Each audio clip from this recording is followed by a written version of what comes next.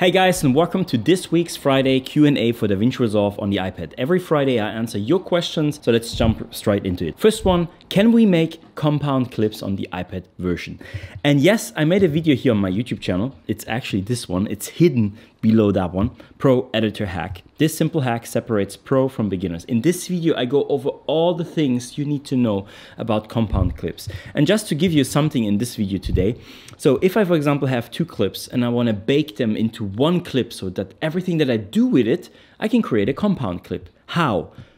Most important, it doesn't work on the cut page. You have to come to the edit page. And then you can just select those clips that you wanna bake and then I say right click and I say here new compound clip.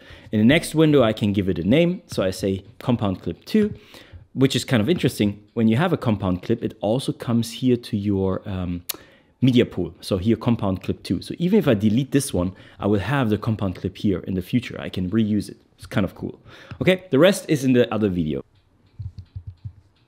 so question number two. This guy was bombarding my channel the last four days, every day, copy paste the same question.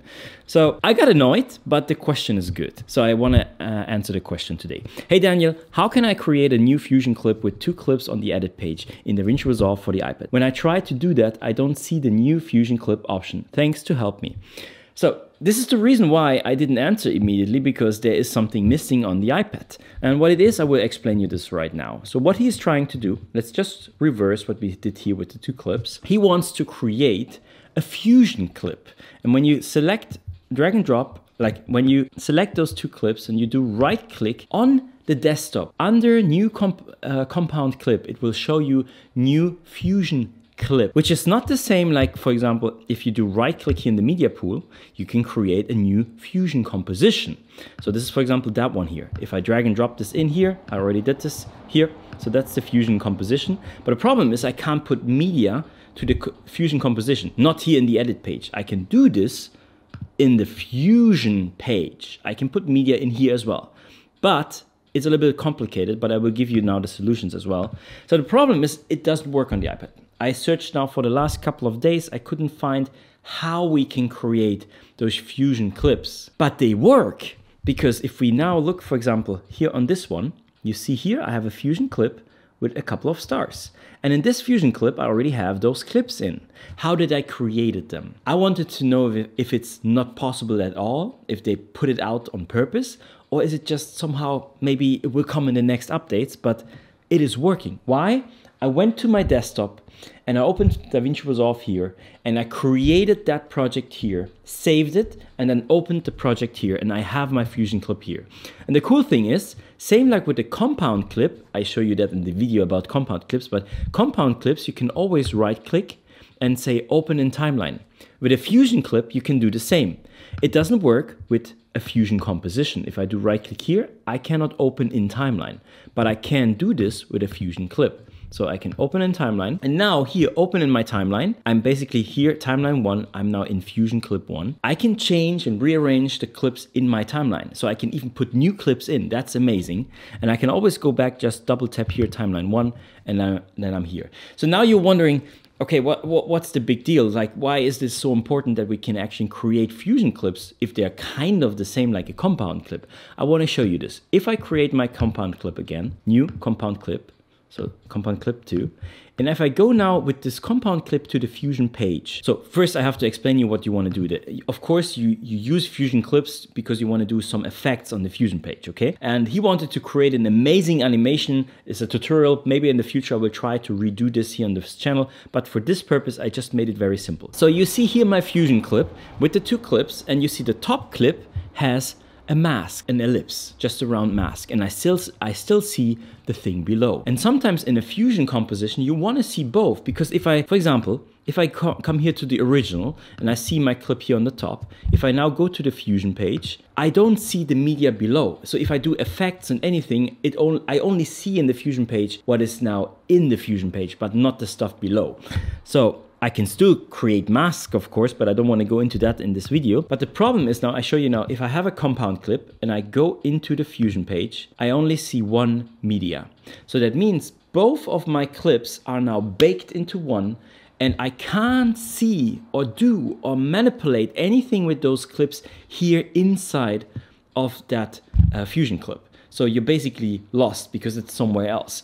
But if you want to do that, and in a purpose like in my example here with the Fusion clip, I want to do that. So if I go into this Fusion page here, for example, a Fusion clip already shows you media 1, media 2, and now I could just add an ellipse on top of that one and I still see the below and I can now do adjustments to that. Okay, so that's the big difference. That's why we want Fusion clips. So what is the workaround? I have two workarounds in this video because we still don't have the feature to create Fusion clips, right? Workaround number one is the easier one, even if it sounds more complicated. Why? Create one Fusion clip in a project like I did right here and save the project. Because the problem is I was trying to put them like the fusion clip, I wanted to put them into my power bin. But if you do this, then it says multicam, compound clips, fusion clips, and timelines cannot be put in a power bin. Why would I try to do this? Because if I have this fusion clip and I can go back here in open in timeline. I can always change the stuff that it's inside. So I could basically manipulate the inside for my new project. And I wanted to have this in every project. That's why I wanted to put it into a power bin because power bins you can always open in other projects as well, but it doesn't work that way. So what is the workaround? Just save one template project that you can always open here just to copy the Fusion clip. So if I copy this one now and I go into another project, I have one Fusion clip and you can now work and start with that one. So now you're wondering why would you even want to do something like this? Because now I show you the second way what you could do. So if you, for example, come into a clip, into the Fusion, you can always add media from the media pool. So for example, let's say here in my media pool, the other clip, that one, I can drag and drop this in and I can start working with all of the stuff. But the problem is that now our clips are not aligned anymore because it will just start wherever that clip that I just moved into my timeline will start. So you, you could go into keyframes here and change the keyframes for the different video clips and change the positioning and everything. So there is a workaround, but it's just more complicated. It is actually easier if you do this in a Fusion clip here by Open Timeline and you just change whatever you want because it will recognize where the clips are. Okay, that is the main difference. That is why we want Fusion clips. And if Blackmagic is listening to this long video, I hope they bring this back because this is important if you want to do anything on the Fusion page with a couple of different clips in it. But those are the two ways. You can either just work in a Fusion clip. You can always bring in clips so if you want to work with more clips, you can do. There is a media pool here, but then you have to make sure you basically start aligning the clips inside of Fusion, or you do the workaround with the Fusion clip once created on the desktop and then you just open that on the iPad as a template project. Hey Daniel, great channel and very helpful. You just trimmed all clips and expanded them. Please can you share the shortcuts? Dankeschön. that was my last video and this made me first, I was very confused because there was nothing very complicated what I did there, but I show you what I did in the video. In the video, I used the playhead and I hit cut and I deleted the rest like I did right now. Now I do this in slow motion. I place the playhead because the playhead is now here. I put S on my keyboard. So now we have a cut here, if you look there. And then I just selected with the pencil everything here and I hit delete, it was gone. And ex extending, I can always extend a couple of clips if I select them like this and then place my pencil on the end.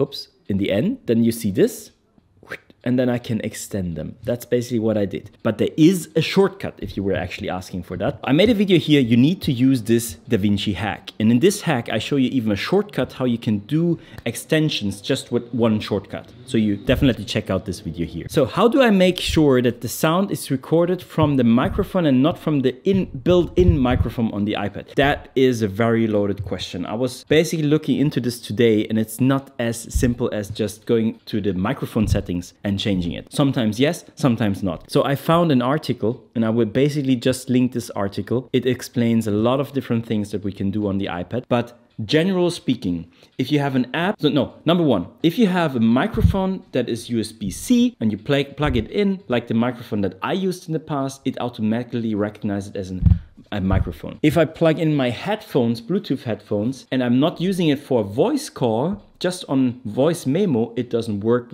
with them. It will actually put in the internally and I couldn't change it. So for that you need a different software or a different recording software or sometimes like ah it's complicated, okay? It's very complicated. It's not as easy as just saying I want to use this. So I leave you with this. There is an article here that explains a lot of things. Very complicated. Awesome video Daniel. Can you tell me if you are struggling as well with click and slide using the magic keyboard? Moving things around in the timeline is a nightmare. Any tips will be welcomed.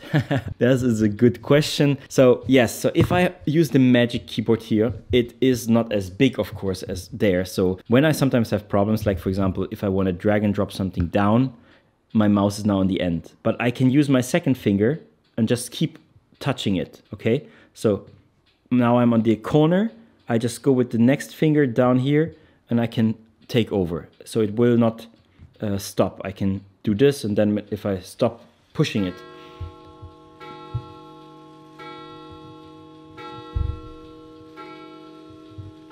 it's time to end the video.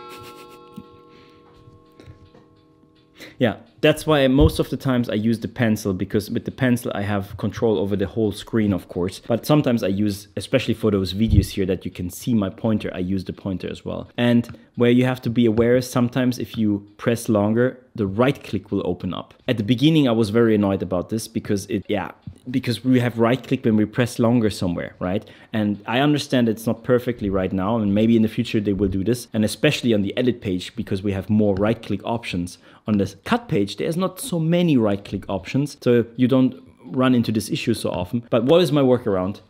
I just adopted to be fast. So if I, for example, want to slide this, the playhead, I'm not touching it and holding it too long because then this opens and then I, uh, have to do it again.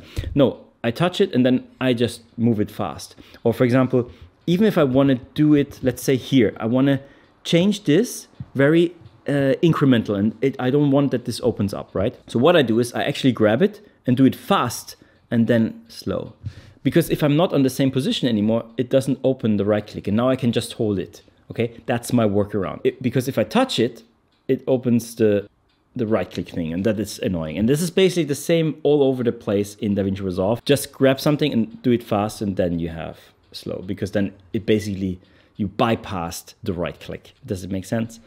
Anyway, I hope this is helpful for you. This was a long Q&A Friday video with some answers to a lot of important questions. If you have any questions about the DaVinci Resolve on the iPad, just let me know them here in the comments and I will answer them next Friday in the Q&A video. If you like this video, hit like, subscribe, subscribe, and we see us in the next video. I'm Daniel. Bye.